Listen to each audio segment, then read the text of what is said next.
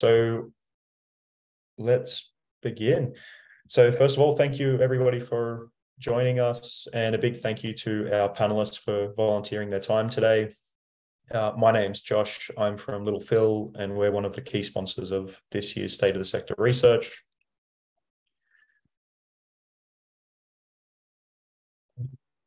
And uh, sorry, one second.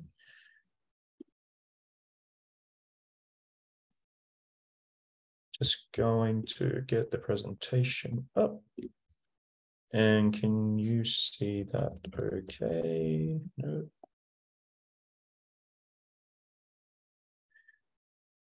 Of course, we have some technical difficulties for a technical presentation. um, it's always, always going to be the way. So for those who've just entered, um, we're, we're going to run through the state of the sector. We'll then have our panel. Uh, any questions that you may have, please drop it into the chat and then uh, we'll have our panel answer those towards the end of the call. Alrighty, over to you, Josh. Yep, I'm just getting Okay, we'll have to use a mouse today. So once again, thank you very much for everybody who participated in this year's survey uh, and for those that are joining us and obviously for our expert panelists for volunteering their time. My name is Josh. Today we're going to be joined by uh, Professor David Gilchrist from the University of WA, Nigel Harris, uh, who is an expert leader uh, with a vast wealth of experience from the non-profit, specifically health foundation sector, and then Charlotte Sangster, who is a current non-profit CEO at a health charity. So just a little bit more on myself. Uh, I've worked in the sector for coming up to seven years now. I'm the co-founder of Little Phil. Our goal has always been to use technology and emerging technologies to help nonprofits lower overheads, increase trust and transparency, engagement, and open up new streams of fundraising. Professor David Gilchrist is the director at the Centre for Public Value at the University of WA. David has a career spanning over 30 years uh, and has held a number of senior roles in the not for profit, commercial, and public sectors. Uh, most recently, David has held the role of Assistant Auditor General at the in Western Australia, sorry. And he's also taught accounting and finance at the London School of Economics and Portsmouth University in the UK, uh, as well as at Curtin University and Edith Cowan University in Australia. And now that wants to work. and as mentioned before, so Nigel Harris, uh, Nigel has a career spanning over 40 years. Nigel is one of Australia's most experienced and successful health foundation CEOs. Uh, I'll allow all the panelists to dive a bit more into their background after this, but I believe Nigel is at the Mater Foundation, which has done some fantastic work. Uh, and currently he's a respected advisor to organizational leaders, fundraising executives, and donors. Charlotte Sangster is a is the CEO of Muscular Dystrophy New South Wales and an executive committee member of the Muscular Dystrophy Foundation of Australia. Uh, Charlotte has, from my conversations with Charlotte, is a very impressive up and coming CEO who's really embracing digital technologies. So we're very excited and glad to have all these panelists involved today. So the research that we conducted for the state of the sector for 2023 builds upon our research from 2020 uh, for state of the sector, but specifically around the impacts of COVID 19 on nonprofit fundraising. Back in 2020, when we conducted our research, we were really looking at how or what effects COVID 19 was having on nonprofit organizations, specifically with the almost overnight closure of in person fundraising events, uh, the changes to program deliveries of, of aid and so on. And then obviously uh, the transition to work from home for, for many organizations. This year's research, building upon that, we've looked to quantify or qualify those uh, expectations that nonprofits were having back in 2020, as well as diving deeper into digital capabilities, cybersecurity, with all of the, the recent kind of cybersecurity breaches with Optus, uh, Medibank, and the likes. The nonprofit sector is not immune to these.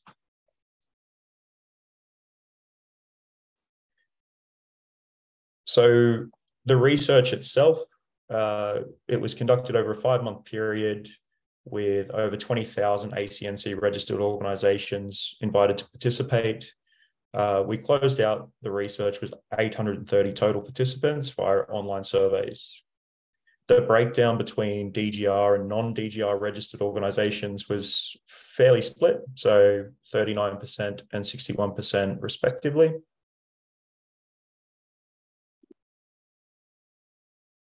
And then for those of you who are not familiar with the sector itself, uh, here's a high level overview. So the nonprofit sector employs roughly 10.5% of the Australian population or the Australian working population.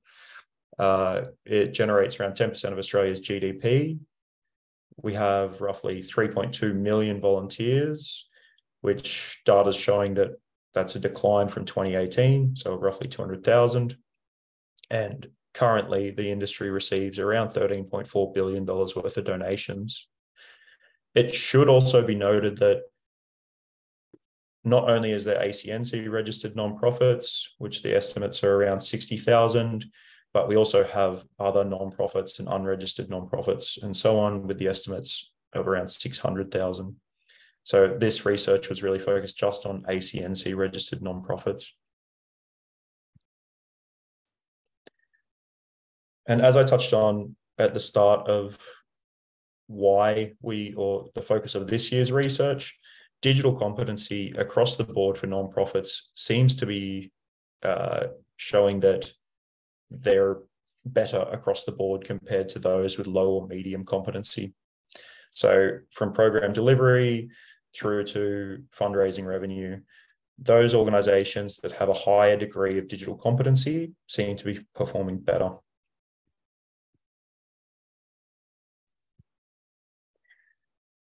And then also looking at uh, the transition from uh, cash payments and check to digital payments. So here's a, a, a, nice kind of visualization of that data of the transition from cash payments in 2007 to 2019. And as you can see, the number of and the value of cash transactions has more than halved.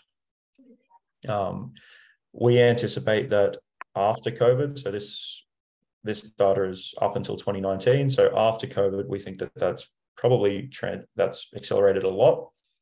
And then it'd be good to note that Australia is actually phasing out checks by 2030.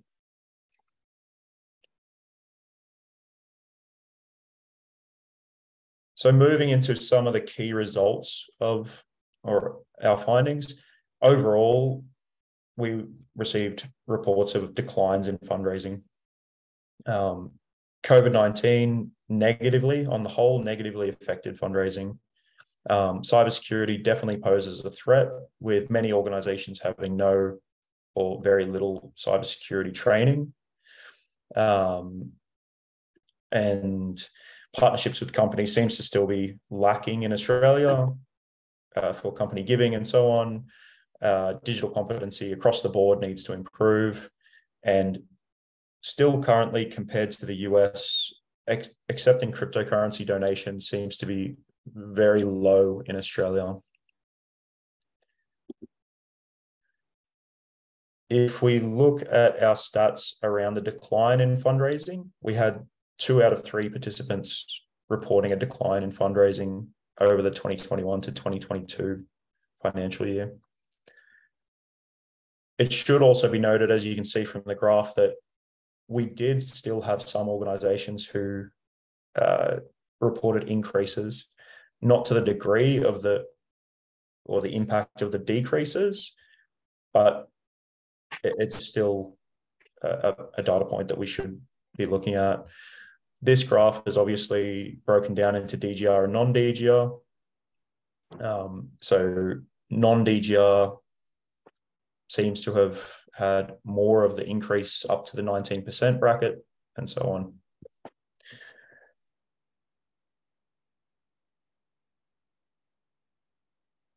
Digital competency. So, the aim of this question for survey participants was really to gauge how organizations and responsible persons felt about their organization's digital competency. I think someone may not be um, but that the GP couldn't. Oh, sorry. Friday. Um, Fred has looked at and everybody and it's oozing a little bit of liquid. They've got some when when he's had big pressure, pressure issues in the past, Silver Chamber come and they put. Oh, there we go. Uh, so yeah, was a digital competency. So across the board, 31% of nonprofits have reported that they need to improve their digital competency, whilst 57% reported that they would have an average digital competency. Interestingly, non DGRs believe they need to improve their digital competency more than DGR organizations. So, with 17% more uh, reporting that. Moving into cybersecurity and data privacy. So, four out of five organizations reported that they've had no recent cybersecurity training in the last 12 months.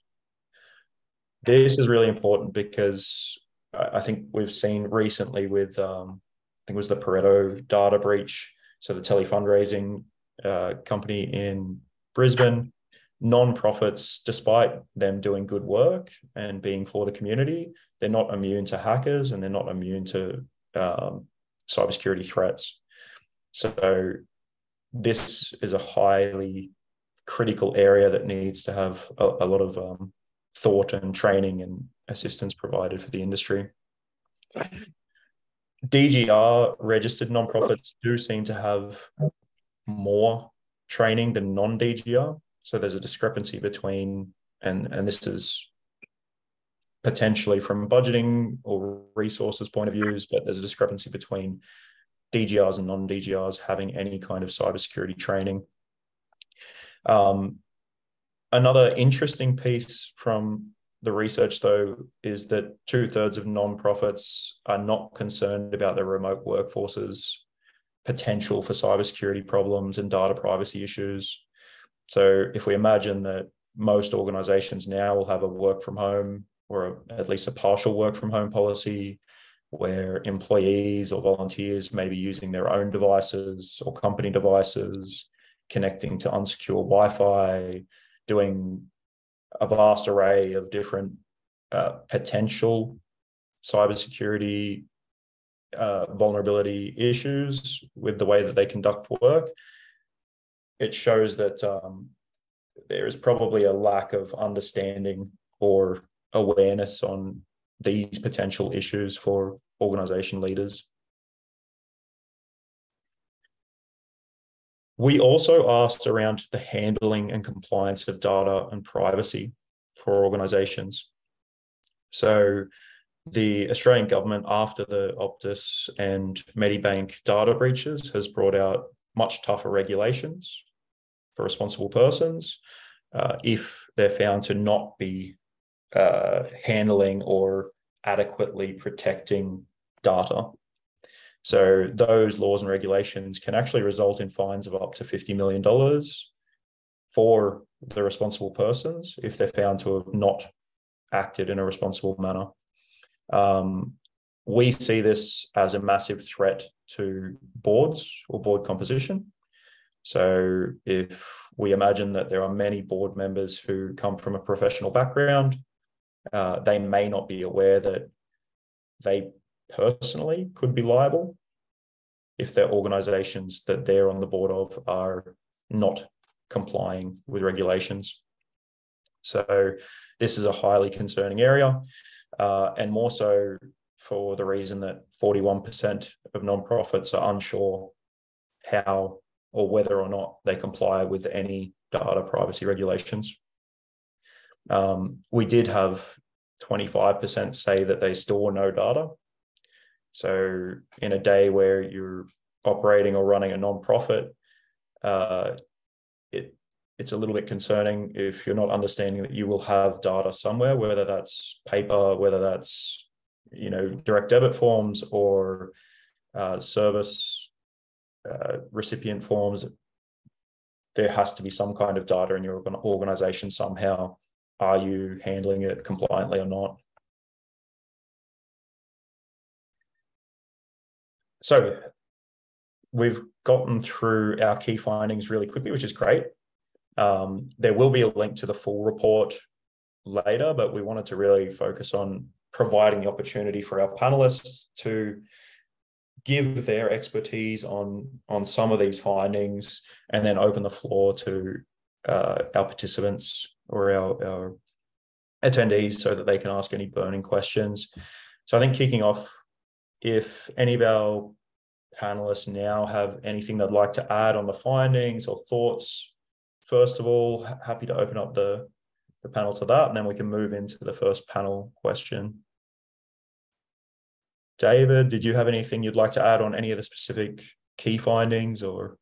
Certainly, Josh. I was being a, a gentleman to let others uh, jump in, but um, look, there's so much uh, interesting stuff uh, in this report, and I'd like to say first and foremost, well done for uh, developing it and getting it out. I think that the answer to this particular question, uh, data is it an asset or a liability? Data is definitely an asset, but it's something that we lack greatly across the human services sector, particularly, but also across the charitable and not-for-profit sector. Uh, so I applaud you for undertaking this study. I think it's really important. I think the second thing that's important is that um, we need to have an industry plan that allows us to develop this data asset that is needed in order to understand what's going on. And I think some of the discussion around things like applying market um, uh, rhetoric or market values to our descriptions of the way funding and businesses operate in these areas is making it very difficult for us to actually appreciate how governments, uh, the sector, philanthropists, and everybody needs to get on board in order to be able to pull together a what I would call a logical industry plan for this sector going forward into, into coming decades, because there's no doubt that things are getting a lot more costly in this sector, uh, but there's also, of course, a resource crunch now, uh, but that crunch is only going to become more solid and more significant in time to come, I think. It's great input. I, I would agree. Uh, Nigel, did you have anything, or Charlotte, whoever would like to? Jump in, Charlotte. I'll follow on if you've got a comment there. Oh, look, I think for, from my perspective, yes, data is absolutely an asset, but um, when does it become a liability? I know I've been reflecting lately on your data is only as good as, you know, the quality of it. And is there a point at which, you know, you're keeping, you're storing too much data and you should be looking at archiving and, and potentially getting rid of it. And I think that that's probably an area in not for profits where we have a tendency to not want to let go of any of our data. And we, even if it's potentially not very useful, and I know that, um, you know, there are there are certain guidelines around what data you should be keeping and what data you should be getting rid of once you, it's served its purpose. So a bit of a comment, I suppose, and perhaps a question around how do we make sure that we're educating the sector around the difference between an asset data and a liability. Very good point. I, I, think we we kind of agree from our perspective. We take the the Peter Parker or the Spider-Man approach of great power with the data, but also great responsibility. Yeah. And I perhaps the sector's lacking in that responsibility part. Um, Nigel. Yeah, look, I certainly form the uh, the asset side. I think the question for me really, or questions really come around how we understand and use the data that we have, and then how we resource that that usage as well, which I think are probably some of the critical questions for a host of nonprofit uh, organisations, charities. I think the usage question can sometimes turn the asset to a liability if we don't attend to that completely. And you know, an example of that might be particularly when we're looking at data relating to fundraising into donors and supporters, it's easy and perhaps uh, a little too tempting to see data as data rather than it being information relevant to people and preferences and the way in which they engage with your organisation that serves a purpose. So I think that I would just observe a caution here that we continue to really drill into this question of uh, why the data and how the data and what we use it for and what lies behind it and where it's purposed. So we see it as a conduit, not a, an absolute. Yeah, great, great input. Has do you know if any of the organizations anyone's involved in have they got policies around GDPR? Do they know what GDPR is? Um, I, I, think this is, Josh, if I can jump in on that, I think this is a, a really important discussion. And um, Charlotte and Nigel's comments uh, really resonate greatly for me, um, having been in practice for 30 years around this. But I think there's two things that we really need to consider. One is the industry level data. And for instance, how do we arrive at pricing? So, for instance, um, things like NDIS pricing is not based on the cost of service delivery, based on how much money is available. It's a recipe for inst instability, unsustainability in the sector. And so my concern is always with that industry level data and that industry knowledge that really needs to be deeply understood by government policymakers, by philanthropists, so that they can contribute both their knowledge as well as their resources, and also by the sector. And I think going back to your question in relation to GDP and other measurement capacities, um, I think this is an area, to be frank, where the sector hasn't really got deep understanding. And it's logical that it shouldn't have. It comes from a whole different perspective and different skills base. Uh, but we do need to get that deep economic understanding so that, for instance, in relation to data, we don't have an ABS data, non-profit data collection strategy. We don't have the ABS looking at this sector and reporting on this sector, and yet we do with sectors that are worth much less than the charitable sector in Australia, you know, the second biggest employer in the country. So I think there's a real need uh, for us to think at an industry level for this and a real need for the sector to come to grips with not just data, but also the economics of the sector itself, which is vastly different to the economics of commerce and government. Yeah, yeah, I, I would agree. Um, I, I, think so. Sorry, just to clarify, I didn't say GDP. I said GDPR. So yeah. the the legislation out of Europe around data and yeah. the right to right to remove or delete your data and so on. Yeah. Um, but I agree, with, I agree with your input too. Sorry, Josh, I just was going to make a few comments on the back of uh, David's observations and just really to support that. I think firstly, um, you know, picking up this question of sector data and particularly around pricing, the you know, the true cost of service provision, which I think is certainly one of the challenges around uh, um, dealing with funding models, is a critical issue that you know, I, don't know to the extent to which that is fully realised and understood. But you know, when we look at pro, uh, campaigns like the Pay What It Takes campaign that uh, certainly from Australia have been uh, advocating and, and, rightly so, um, in order to understand what your cost base is in providing services and in fact what your cost in generating funding might be, and the leveraging of data becomes critical. Uh, I don't know the extent to which um, the GDPR and I see someone's looking to explain the acronym, so I'll leave that one to you, Josh. Uh, greater data privacy regulation, I think is right. Is that right? Is that, uh, that close to the description? Yeah. yeah. An observation I would make across the sector, and this is horribly general and perhaps you know, terribly unfair to some, but the challenge to which leadership at governance and executive level really lean in to ask themselves some of the sharp questions that take them beyond the assumptions around which they see the work that they have responsibility for, I think is a really present question. So I think there's a, a challenge there. Am I asking the right questions? Am I asking the right way? Am I, am I pushing past my assumptions is important as well.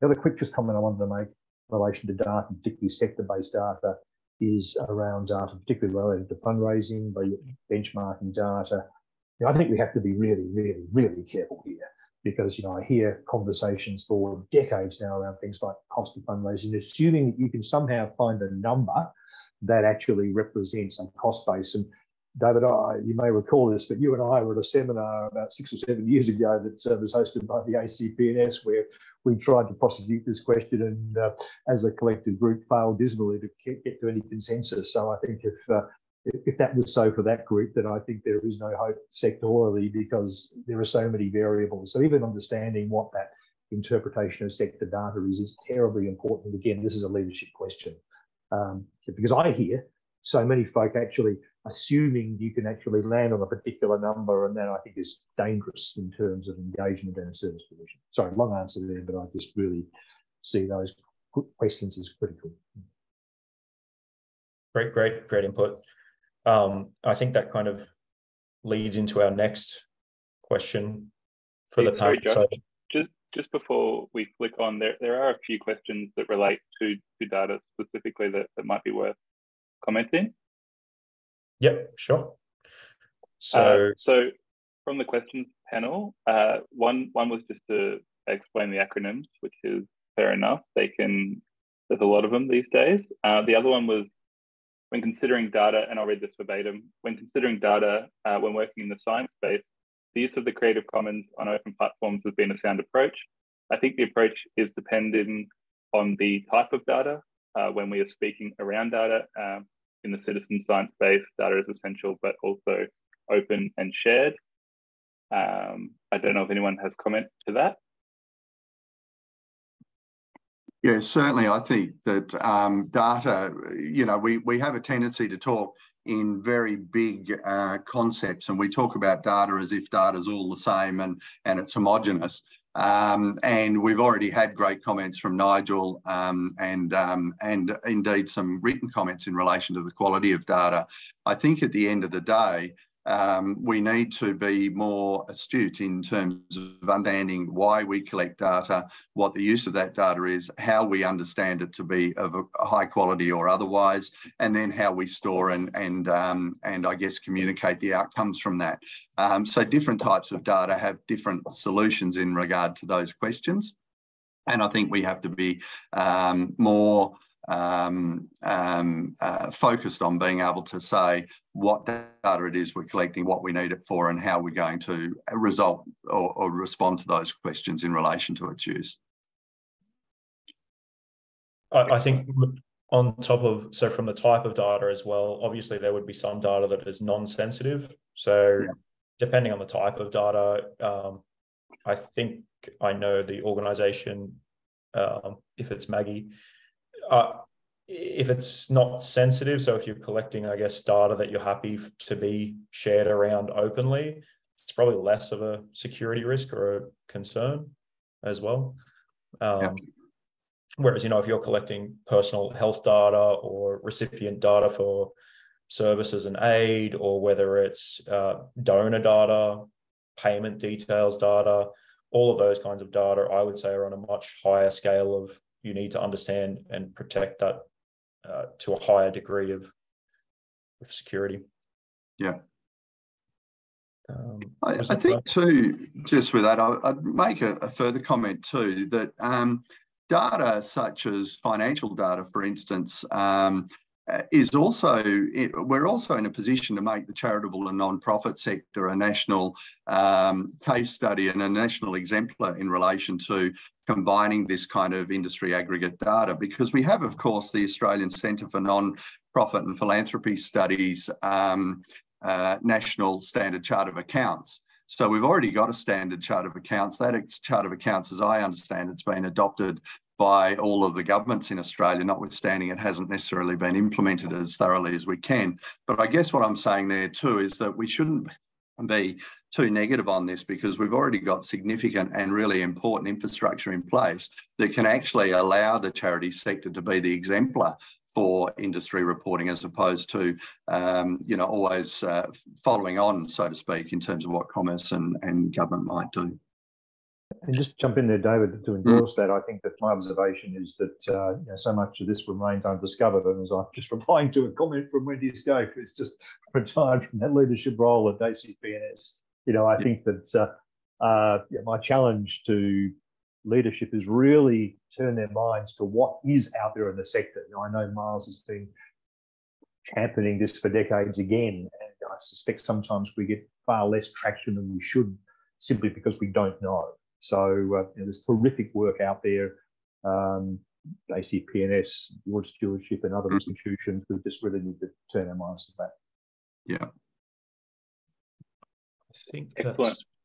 There's also there's also uh, just a comment from Wendy Scaife as well, uh, from David's original comment around the uh, the big endorsement on the industry plan, thinking David long overdue.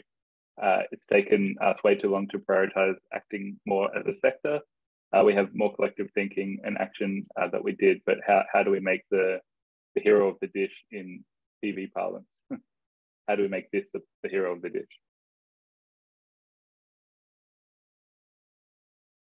I'll answer the, the acronym one. So General Data Protection Regulation is out of Europe, but that expands basically globally for any EU citizen and the right for them to remove or delete their data.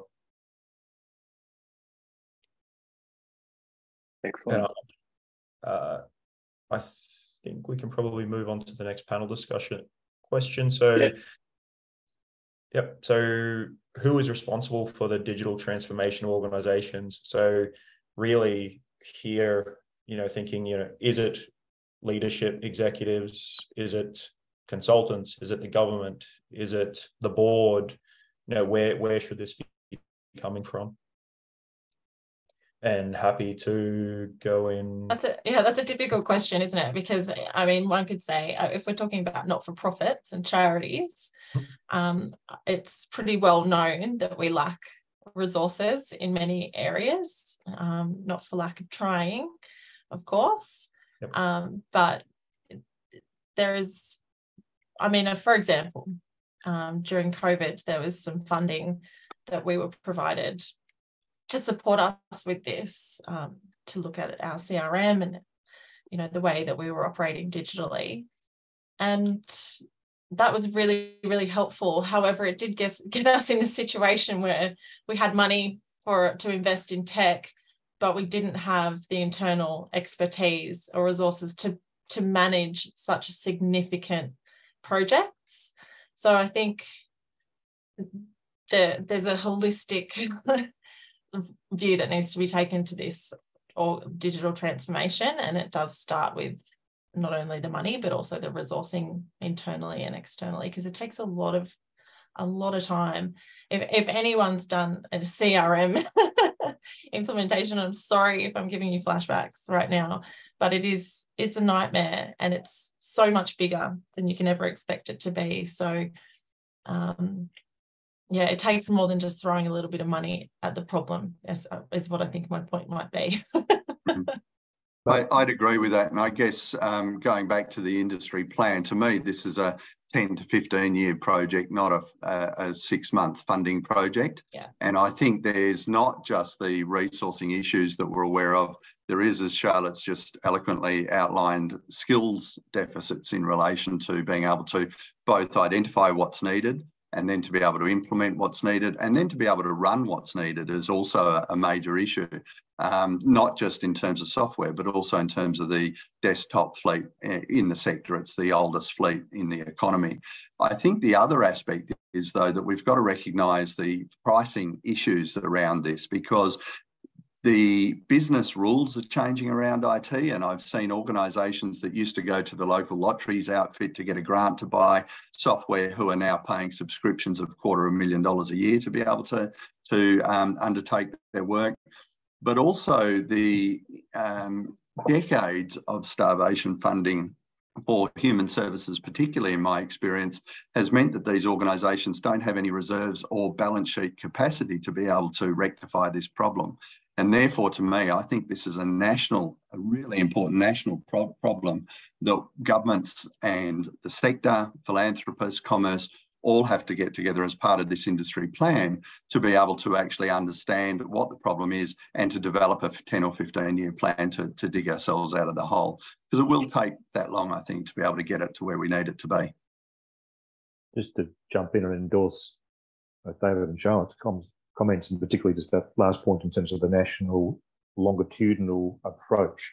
I think drums are beating louder and louder in terms of a, a greater urgency around some collective response. And I see some of the comments that come out of um, comparisons between, say, small business support and uh, non-profit support, and, and noticing some of David Crosby's comments from CCA at the moment in that regard. But just to make the observation around who's responsible, my view is that this is where governance and management really need to be in lockstep. And uh, yes, management will take responsibility for the execution of transformation work, but governance really has to understand what's at play, what needs to be resourced, and how that's progressed over time as well. And I think that you know, I've seen again uh, slightly both the best and the worst of that in terms of uh, leaning in. So I think that it is a, a really strong message to boards to understand this deeply and an equally strong message for organisational management to um, you know, bring their A game to this question. Yeah, yeah, you have to you have to invest in this stuff. You just can't like stick your head in the sand and pretend it doesn't exist. No, and when your name's on that top of that data breach uh, newspaper article, you yeah. yeah, you'll certainly regret sticking your head in the sand then. I, look, I think that that's right, and I think it does go back to pricing because we need training money to be able to train people, but also I think uh, building on Nigel's comment, there needs to be an acceptance within the sector as well, and I suspect I, I sense that there's a a pushback on this, but boards need to invest in themselves. And I think this is a major deficiency that we see, not simply because people don't feel that they shouldn't spend money on directors, volunteer directors, but also because, of course, they don't necessarily have the resources. But I think that's also a really critical aspect of this, being able to build the capacity of our directorship across the sector.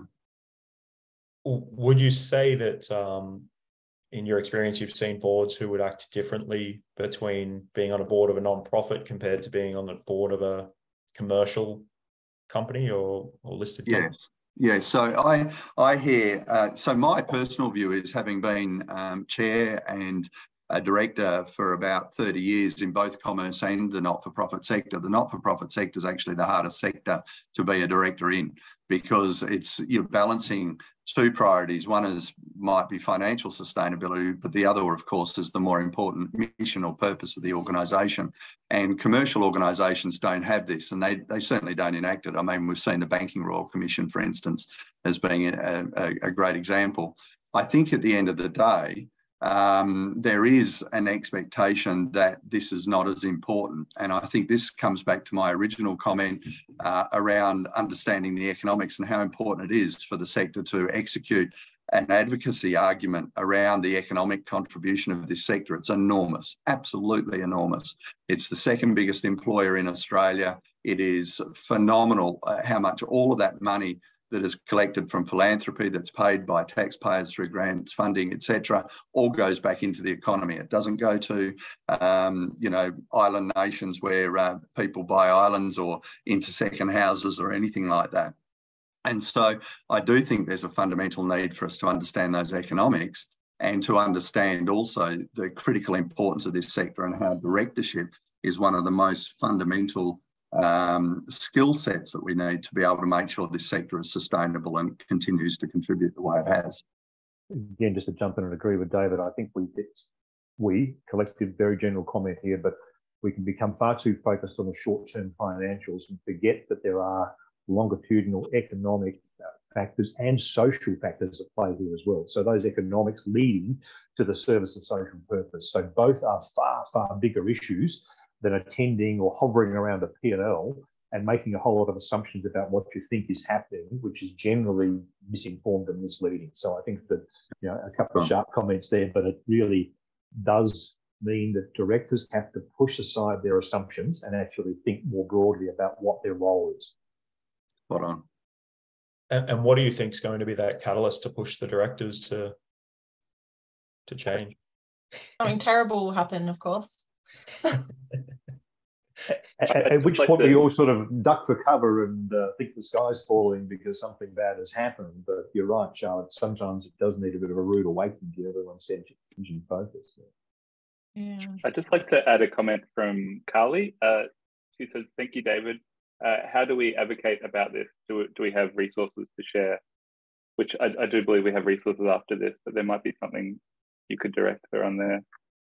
Um, look, one of the, the primary audiences for this, of course, is the um, uh, the minister for the ACNC or the assistant treasurer has set up the um, a, a, process that's allowing a, a, the sector to put together an uh, essentially a, vision of what the sector needs to look like in coming years.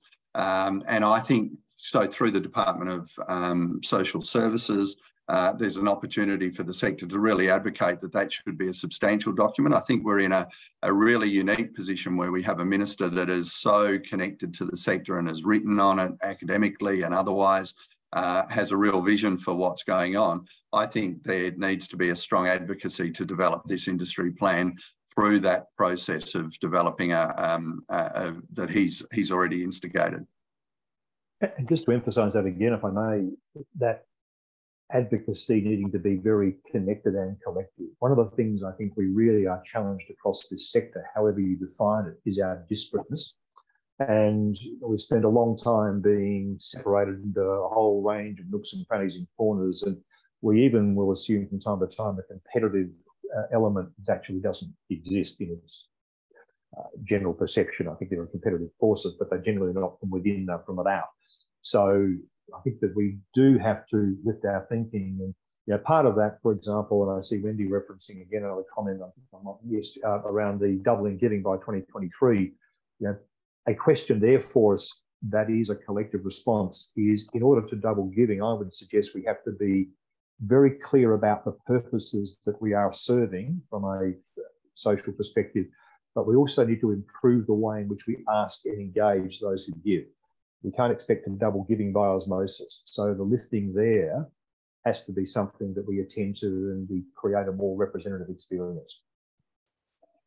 Can I can I add something around because um, the first thing that pops into my head and it, we may have covered it off a, a little earlier, but is the you know is this support for cyber security and you know our, the tech that we're investing in is that going to be perceived as overhead and admin for these not-for-profits? And is that then you know is that part of the reason why there's a hesitation around investing in it? Because the more you invest in this the higher your overheads are.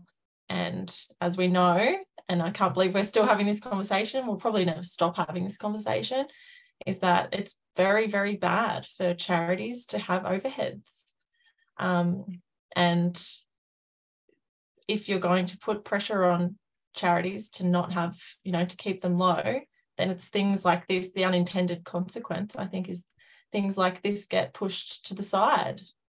So uh, look, it's a, you're spot on, Charlotte. To me, it's a real soapbox issue because we sit around wondering about overheads. We don't ask Commonwealth Bank to reduce their overheads. We want them to be as as uh, efficient and effective as they can be, and part of that is the administrative process. But it extends not just from overheads, but to things like audit. You know, I want to give all my money to this organisation. I want an audit, but I don't want any money spent on administration. It's just insane. Um, to me, this is uh, the fundamental issue where we're looking at these kinds of discussions rather than engaging in discussions about whether or not the organisations are effective. That's the, the key. So, look, I, I agree. I think we, we need to advocate to change the culture around that discussion. And the reason we are often wringing our hands around digital transformation and uh, understanding cost base and uh, engaging people in giving is because we have had this completely constrictive approach towards overhead because we really haven't sought to challenge the paradigm around that. And you know that that one I'm going to really push hard to lay at the feet of governments and of board members here because I I hear this in market where people will nominate a figure, insert whatever number you like, and say, well, this is the number we should reach. And there's no evidence this, there's no basis. And all that does is stop us from serving purpose and stop us from engaging donors. And that is completely the opposite of why we exist. So there is a stiff challenge. You know, Carly's question You know, how do we shift this? We have to educate from within our organisations and be far more strident in terms of how we do that and connect across the sector more completely. And, and yes, Dan Pallotta's film Uncharitable is, is important. and Dan Pallotta's message is, is important. But, you know, there are people like um, David and like Myles and Wendy in Australia and other people like Adrian Sargeant have been talking about this for decades as well. So it's probably high time you listen. That, that's a good point. Um, sorry, you go, Craig. Oh, no, I was just going to add a, a comment from Maggie saying many NGOs work with the volunteers and, and don't have any overhead and extra tasks would actually burden the already stretched volunteering team as well. That's true. I'd also uh, add on to Charlotte's comments earlier around some of the organizations that we've worked with and we have discussions with. They've received grant funding to go and procure software, so enterprise kind of level software. They get it installed and then they have no idea how to use it. So, you know, there's $20,000, $50,000 or more that's kind of just gone down the drain because it's too complex. The staff, they either don't have capacity or they don't have the expertise on how to actually operate the technology. Um, was or there you very generously get given another you know another here's another database that you can use for our specific reporting and then next minute you're trying to run five or six different databases and there's data points everywhere and you don't yeah it's just it gets out of control especially when you've got a small team exactly um, were, were, there any other specific areas uh, that any of our panelists would like to dive deeper into uh, that we think is worthwhile having more of a deeper panel discussion about, or move straight sure. into recommendations? Josh, I, have just got one more comment to make, if I might. I think we uh, we've had, just had a great discussion around aspects that impact the sector and the sector's possible responses and, and so on, which is all, I think, really useful. I think, though, the other big um, elephant in the room, if you like, is the lack of capacity in government to be able to understand both what's going on in the sector, but to also to understand and appreciate both the economics and the methodology of um, procuring the services that the sector provides, particularly in human services. So I think the other branch of this um, question is answered by how much investment's actually undertaken within government. So to Charlotte's comments around um, uh, information requirements and what funders want and so on, um, this is a big issue because you might have a change in policy at the policy level in a government department, but at the procurement level, it never reaches there and they don't know how to procure under that policy arrangement. And so we go back to um, the same sorts of issues that we've had all along. So I think there is a real need, not just for investment in the sector, but investment in government so that government understands what it is they're doing as well. I yeah. endorse that as well. And I think perhaps there's a, a call here from government to see the sector as a partner in a true sense rather than just a contractor to deliver services. And that you know, may seem a subtle shift or not, but I think it's very critical. The other thing I just quickly want to add, and particularly looking at the question of responsibility for digital transformation, one of the questions that really continues to cycle back in my observation is this notion that organisations that serve a social purpose are primarily serving a longitudinal challenge or, meeting a longitudinal challenge. That is, most social purposes that exist are long term in their addressing or resolution. I also see many business models that are framed to serve that long term social purpose as being short term. So, a question if your business model is short term, both in service delivery and funding, and you're existing to serve a long term purpose, there is a fundamental mismatch in how you operate that's never going to resolve itself. So you've got to be thinking longitudinally about how you actually operate and fund yourself to deliver the services that you exist to provide to market. Yeah, very good points. Uh, I'm just seeing another. And I was just going to jump in quickly and uh, mention. I, I, know Nigel spoke to this comment previously, but Gabrielle uh, just made a mention to look out for Dan Pallotta's film Uncharitable, uh, which a lot of us are probably all familiar with. But uh, it, it looks to challenge the notion that overheads equal efficiency, which I think has been uh, explained with all our panelists. And, and Fran to uh, changing the perception of the word overhead uh, requires a change in our language. So we, yeah, just mentioning we need to become smarter with our communication around that terminology. And I, Craig, just to, just quickly to, to reference my comment around Dan's work. Now, Dan, Dan has a great message. He's been giving that for over a decade now. So uh, this is not a new message. It's just the different mm-hmm. mediums that he's pursuing. But you know, I think that um, this message is amplified from an academic base as well, which gives us really strong evidentiary position around why uh, this sort of overhead conversation is completely flawed. So I think there's that. You know, if we look back to uh, it was a decade ago, I think the three major charity watchdogs actually wrote a letter to the American public saying we were wrong about the overhead myth. So, you know, we're a little slow to the party to still be having this conversation decade after decade when we continue to see Rome burning in terms of services not being attended to and donors not being engaged well. So, you know, I'm quite passionate about this. Uh, I'm sure I'm not alone, but uh, yeah, whoever says the message, get on board and amplify it. certainly. And we have another question here from Akash. Uh, I'm curious about the crypto giving and the trends observed in the report. Do you believe that blockchain technology could potentially provide a solution for issues like data management and, to a greater extent, cyber cybersecurity threats? Despite the hesitancy and resource constraints, do you think it's worthwhile to engage in discussions about implementing such technological solutions?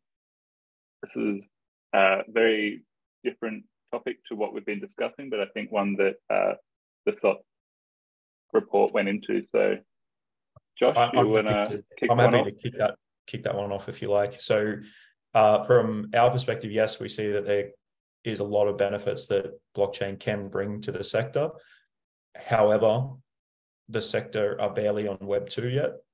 A lot of the sector, so uh, barely digital at all. So, expecting a lot of the sector to move into those emerging Web3 technologies is, I think, is a pretty big ask.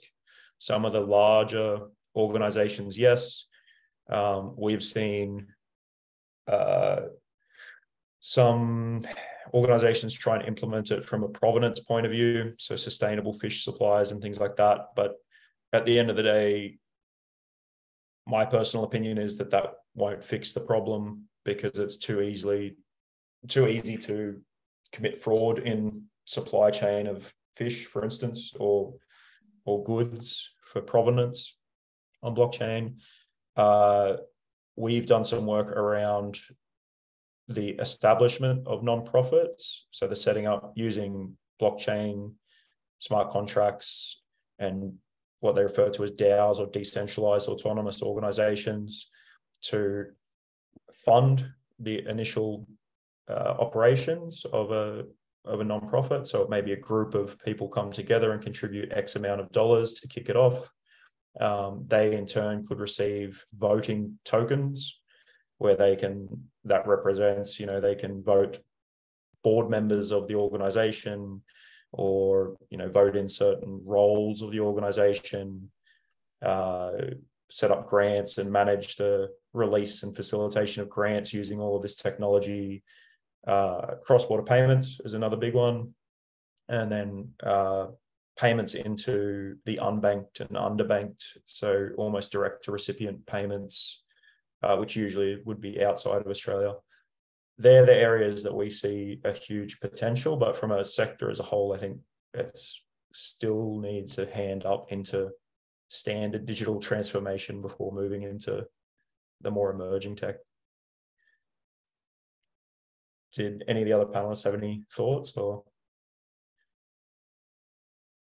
Just a, a quick observation, and you know, this is certainly an area that I won't claim great expertise in, but an observation generally, whether it's about uh, giving or uh, other technological applications, is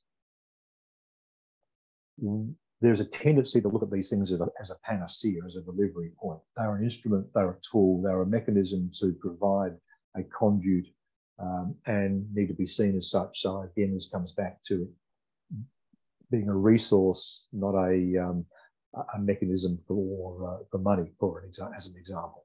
So I think we just have to be careful that we don't sort of flock to the side of the boat where the next new thing is happening, but we just have a really clear and deliberate understanding of why any um, technology or other medium may be useful in serving our purpose. Yeah, definitely. I think there was one more question that's already been answered now from. Um, there was like one that. question that was um, directed at David, but he's uh, he's answered it in the in the comments there, so I think we're fine for that. Great. Um, is there? I just put a open invitation out to anyone still in the chat if they'd like to ask a question now before we move on to recommendations.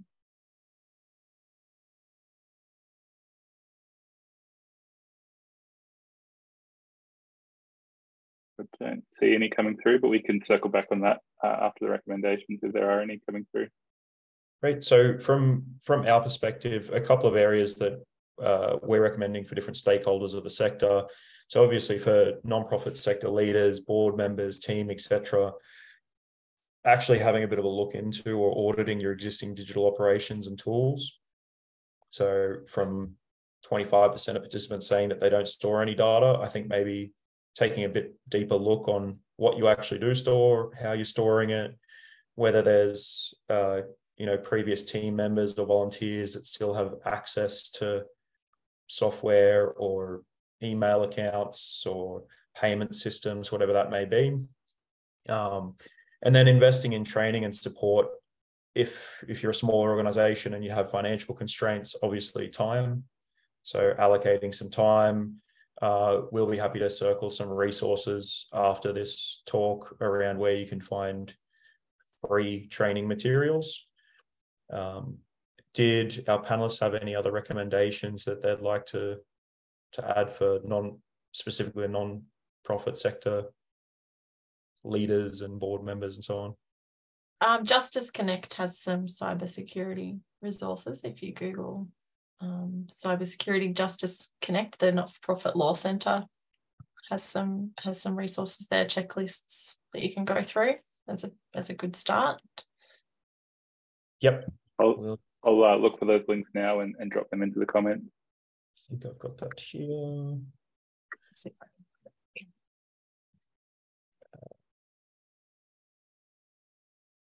and so the next would be for donors, philanthropists, and foundations. So I think we've kind of touched on this from our panelists as well. So really supporting the organizations that are undergoing digital transformation. So as a whole, the sector seems to be lacking in this area. Um, and as mentioned previously, the government's taking an approach of it doesn't matter if you're a nonprofit or not, you'll still be you know, falling under these new regulations around data privacy and so on. And obviously, as we've seen with um, recent cyber breaches, just because you're doing good deeds and you're in the nonprofit sector doesn't mean that you're not a target for cyber criminals. Um, so really, you know, providing what it takes, I think, and whether that's funding, whether that's free training, whether you have products or services that you can offer you know, for as a grant or or so on. Uh, and then really encouraging organizations to embrace and and use these digital solutions. Um, an example of that would be uh, I was at a meeting the other day and I, I had somebody that I was with ask for a paper direct debit donations form. Um, you know, if you're planning on making donations and so on, try to encourage the organizations, I guess, to use secure methods rather than uh, some of these methods that your data may end up, you know, falling through the cracks and your personal details or your your banking details and so on could just be out in the wild. Did our panelists have any other recommendations for donors, philanthropists, foundations? Um, Josh, I guess the only one that I think we should be taking into consideration is, as, as you're, uh, I'm sure everyone's aware, the government's objective is to double philanthropy, um, which is a, a laudable objective. I guess my concern is that the sector needs to ensure that the result of doubling philanthropy is not going to actually result in reduced uh, funding to programs that are that are funded specifically by the Commonwealth government. Uh, especially given that if we, uh, so my uh, calculations on the back of an envelope, literally on the back of an envelope, uh, were that in um, 2021, I think about 13.4 billion was donated to charities in Australia, reported by the ACNC. If we double that, of course, that's 26.8 billion dollars. If you said somewhere around the, the tax deduction that accrues to that is, to my mind, something around 9.6 billion. So I'd like to know what the uh, plan is to be able to uh, manage that hole in the um, the government's revenue to ensure that the sector is not going to bear the burden of that um, that significant gap in um, in taxation. So I, this, it's slightly down in the weeds in one sense, but I do think it is a macro issue that the sector doesn't tend to think about in the context of doubling philanthropy. Uh, and I think we need to be across that and getting some um, awareness in government so that we know where that um, that money is going to come from the budget. That's a really good point. And David, this sort of picks up this partnership question versus exactly the question I think again as well. And I think that once again the call on the sector and those organisations and leaders who populate it to be far more um, uh, strident in their advocacy, but also yeah. to be connected. So we are actually saying the same thing as largely as we might. Agreed. Um, that power in collective action. Because you're right. I mean, there's no point in doubling philanthropy if you see a dissipation of other funding. Uh, we don't actually make any advances in serving purpose, which is why we would be doing this. So absolutely, I think that and, uh, absolutely, and it's a material tax deduction. It's not, um, you know, just uh, mice. It's it's serious. Yeah and again, it sort of negates that uh, notion of actually encouraging giving through taxation mechanisms by then um, doing something surreptitious at another level as well. So, but, yeah. Just another quick comment, if I might, and probably harking back to the question of um, your earlier recommendations around training and audit. You know, I think that the encouragement to organisations to look at themselves from outside in is certainly something to you know, perhaps raise a view on, and uh, uh, that's potentially self-serving. That's what I do, but that's only in the part of that landscape. Um, but I think the you know, the challenge is, is who and how um, you might attend to those processes. the training question is a huge one in the sector, and again, you know, we've assembled a sector from a host of different backgrounds and pathways, and to assume there are common bodies of knowledge around a host of issues that we actually prosecute, I think is a massive leap of assumption. So what training is necessary across all levels of activity from uh, you know, core function right through to governance leadership are critical questions to attend to. So you know, that moving to the questions on the recommendations on the screen now about supporting organisations in digital transformation and other work um, to attend to some of these bigger questions about development do again represent questions to be had with funders about how we raise the stakes of our capability as well as our capacity. Um, Definitely. I think 100% agree with that. And it probably ties back into, we've might have skipped a little bit ahead from recommendations for the government and uh, the blueprint expert reference group. Uh, so I think we may have a bit of a consensus as well, but developing that digital capabilities plan over a longer period of time. So what does that look like? I know that we assist a lot of small, smaller to medium organizations and uh, what that may look like for them could be very different to some of the larger guys. Uh, again, providing training and support and funding to nonprofits. So to actually execute this, if you want to double philanthropic giving, if that's the plan, and then you're also going to put a contingency in there that well you know these organizations need to adhere by these new regulations or the board members are potentially liable. What does that look like? Is there a potential mass exodus of directors and board members who see the risk too great to want to warrant the actually being a part of the organization? Um, and then also engaging with the nonprofit industries tech kind of experts, I would say. So uh, it would be very different to go to, in our experience working in the sector for six, seven years now, compared to the normal tech sector, it's it's very different to navigate. um, going to just technology providers who don't understand the industry, I think would be uh, a, a bit of a fail, or you're, you're setting yourself up for failure, um, which we've kind of seen with some other tech projects that the government's tried to execute, uh, I think around census and so on. But are there any other recommendations that our panelists would like to add in there? I have a recommendation. Yep. Check your backup of yours of your databases. A friend um, of a um, friend of mine um, realized that they they assumed that their database was being backed up and it wasn't.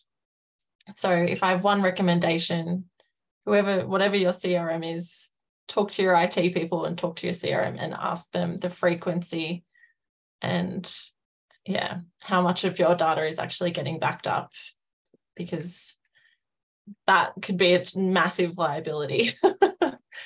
Going back to our initial question. So have a look into it.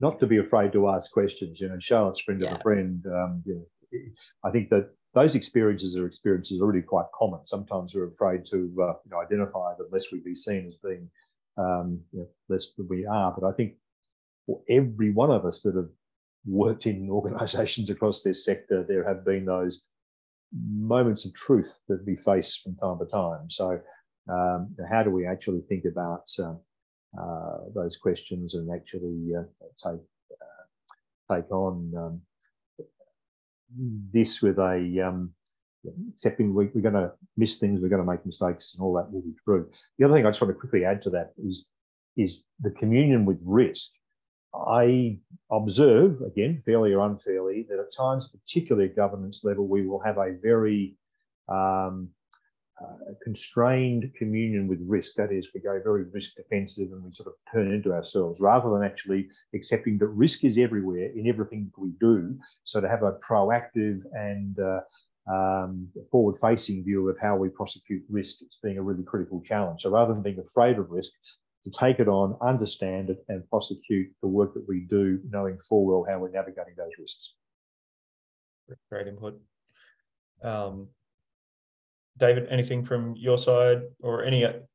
I guess we can kind of move to any final comments. I think we're we're pushing our hard stop at twelve thirty here, so yeah.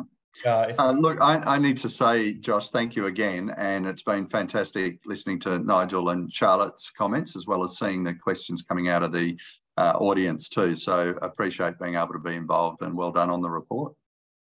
Thank you and appreciate you all for coming. I'm sure our audience and any of the future viewers online will get a lot of value out of it.